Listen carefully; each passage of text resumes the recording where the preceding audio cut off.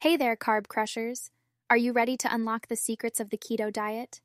Well, hold on to your avocado because today we're diving into the mysterious phenomenon known as keto breath. Picture this blasting away those pesky pounds, feeling on top of the world, and then bam, your breath smells like a tire fire.